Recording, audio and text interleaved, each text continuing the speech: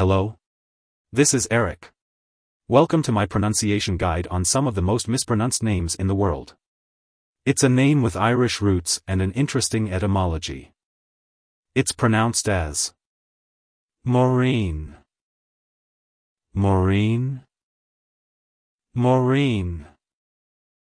To pronounce it correctly, emphasize the marine at the end and make sure the uh is pronounced as ah.